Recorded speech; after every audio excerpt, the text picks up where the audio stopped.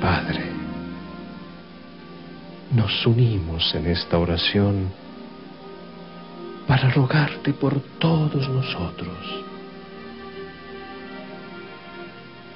por nuestros seres queridos, por Costa Rica y por los habitantes del mundo entero.